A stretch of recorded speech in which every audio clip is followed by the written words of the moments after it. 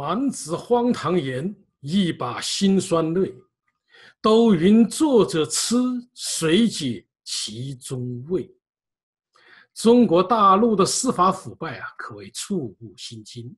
下至基层法庭法官腐败的窝案，上到最高法院两位副院长黄松友和奚晓明被判刑，什么法官集体受贿啊，吃了原告吃被告啊，伪造判决书、枉罚裁判、睡漂亮的女律师、集体嫖娼等等，可谓是公正不在，司法扫地。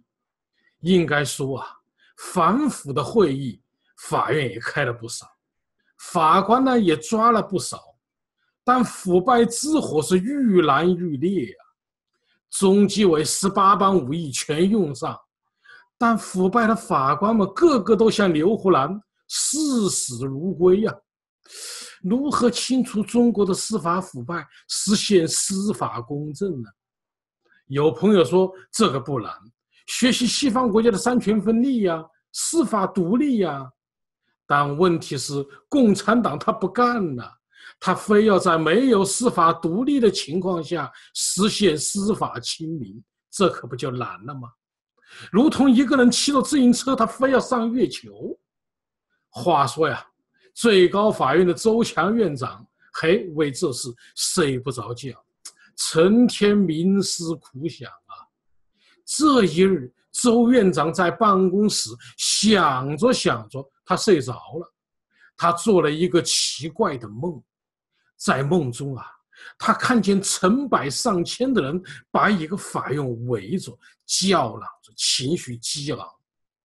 周院长不知道为什么呀，忙走过去打听呢，出了什么事儿？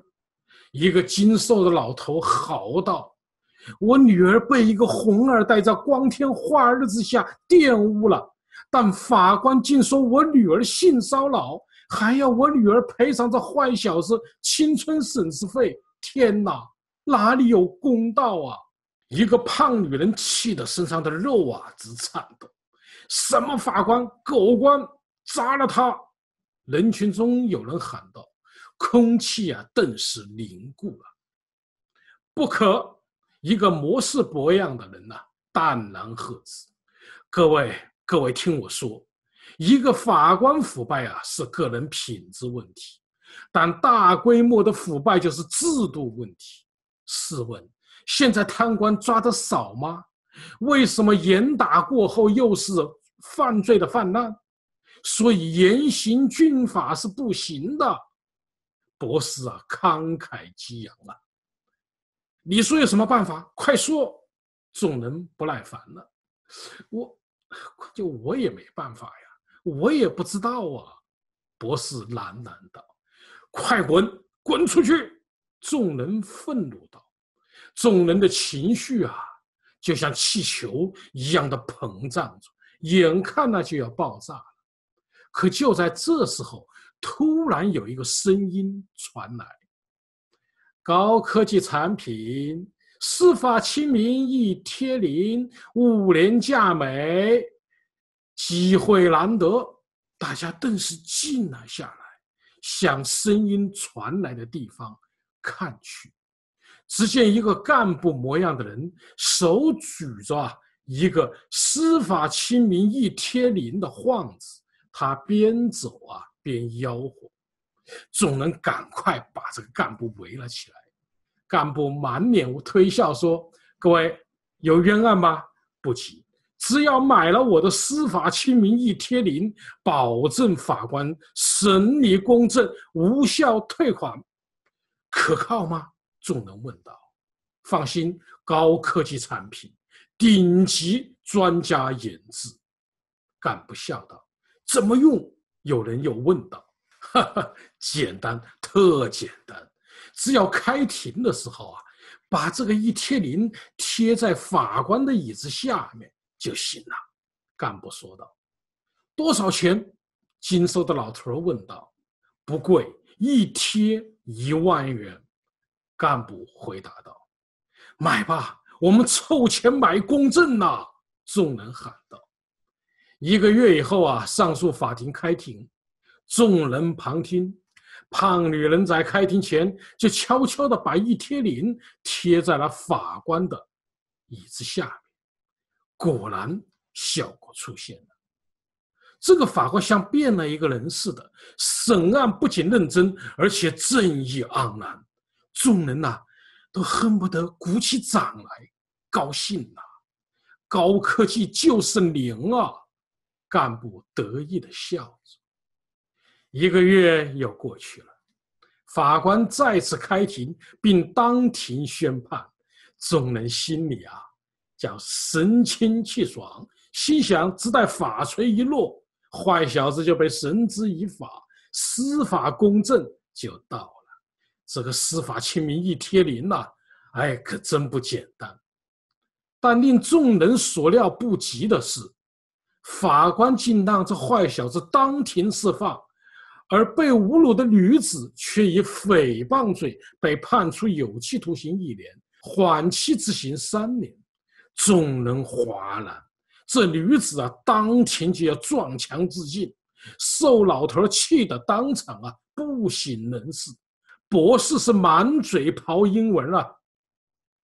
胖女人拉着干部就要拼命，众人把这个干部就围了起来，干部也满脸的羞红，说：“别急，我跟厂商联系，我跟厂商联系，看是什么地方出了问题。”众人都死死地盯着干部。眼睛都红了，时间呐就这么一分一秒的走着，大家都静候厂家的回应。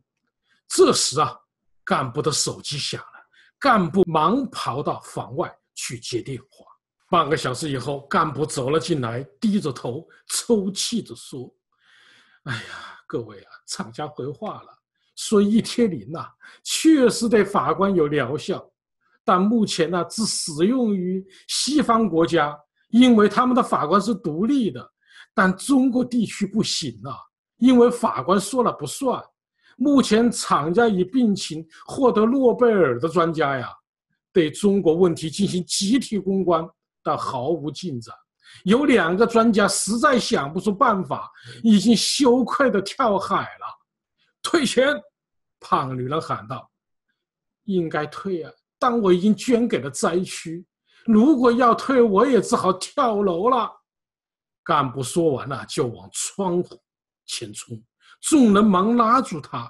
这时啊，瘦老头醒了，突然哈哈大笑起来，手舞足蹈的跑了出去，边跑边唱：“中国司法，嘿，就是公正，就是公正，就是公正，就。”是公正，他疯了。周强院长也醒了，看来用高科技呀解决司法公正这条路走不通。第二天呢，周强院长又开始冥思苦想，怎么能够在一个党治的土壤里开出法治的花朵？这就如同让一盆塑料花变成鲜花一样难了。想着想着，周强院长睡着了。他又做了一个稀奇古怪的梦，在梦里啊，周强看见一群人正在激烈的讨论着司法改革。这群人呢，哎，很奇怪，还是昨天梦里的那些人。那个精瘦的老头啊，大声的嚷道：“我们能够让宇宙飞船送上太空，难道就不能消灭司法腐败吗？”现在是刑讯逼供，制造冤假错案，法官贪赃枉法裁判，老百姓立案难，审判难，执行难，处处都难呐！胖女人咬牙切齿地说：“现在的法官真他妈黑，没有良心，吃了原告吃被告。基层法院的法官吃黑可能是缺钱，但最高法院的院长难道也缺钱吗？干部。”痛心疾首道：“整个会场啊，人声鼎沸，群情激愤，但是大家始终找不到一个如何让司法清明的办法。这时，博士啊，大声喊道：‘诸位，诸位，大家已经讨论了三天三夜，争得脸红脖子粗，昨天呢，还有两位老兄激动的心脏病发作，现在正在抢救。但恕我不敬诸位的建议呀，都是隔靴搔痒，解决不了什么问题。继续吵下去，只会白白的浪费时间。他的话顿时激起了众怒，大家喊道：“你有什么好办法？赶快说出来，否则滚出去！”他在众目睽睽之下脸红了起来，“快说，快说呀！”众人齐叫。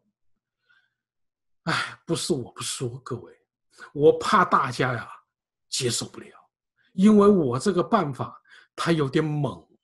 他喃喃自语：“别卖关子了，说！”大家吼了起来。博士环顾四周，见代表们愤怒地盯着他，他知道如果不说啊，他们一定会杀了他。他一咬牙说道：“取消法院，由政府领导当法官。”回到我国的司法传统中去。中国古代不是行政司法不分吗？民事、刑事案件不分吗？县太爷把金堂木一拍，大吼一声：“升堂！”下面的衙役齐声喊：“威武！”多庄严，多气派呀！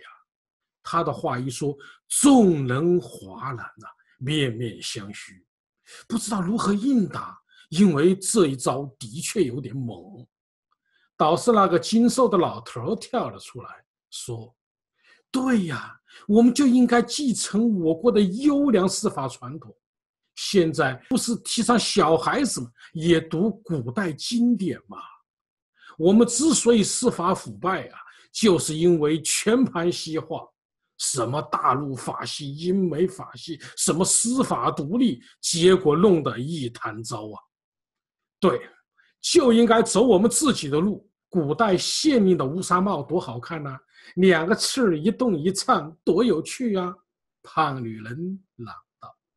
这时啊，干部走了出来，他环顾四周，然后缓缓地说：“博士说的有理，回到传统，一是我们只需要一部法典。”不像现在民法、刑法、诉讼法叫汗流冲动、不知所云呐。二是审判公开，当庭宣判，不像现在暗箱操作。三是当庭处罚，拉出去脱裤子就打，不像现在还有什么法律百条啊。四是死刑犯九卿会审，多么民主，并且实行秋决，多么环保。不像现在舆论反响一大，法院把罪犯拉出去就毙，来个斩立决。干部说完，大家都鼓起掌来啊！说得好，说得好。各位，但司法腐败的问题并没有解决啊！一位年轻人喊道：“没文化，借鉴明朝朱元璋的做法，对贪官呐，无论受贿金额大小，一律扒皮示众。”请问天下还有贪官吗？博士不屑一顾的道。精瘦的老头笑道：“哎呀，不愧为博士，就是精辟。但脱裤子打屁股对男人比较合理，但对妙龄女子的确有点舍不得下手啊。”对对，如遇到色狼就麻烦了。胖女人喊道：“各位。”打屁股容易造成疾病的传染，有的人屁股长期不洗，建议用一次性的棒子打。干部说道：“对，还应该擦碘酒消毒。”众人嚷道。于是啊，代表们就如何打屁股，特别是如何打美女的屁股，讨论的热火朝天，但始终达不成一致。博士急了，双手一挥，喊道：“Sorry, sorry, please be quiet, be quiet。我们就司法改革表决吧。”好，大家应道。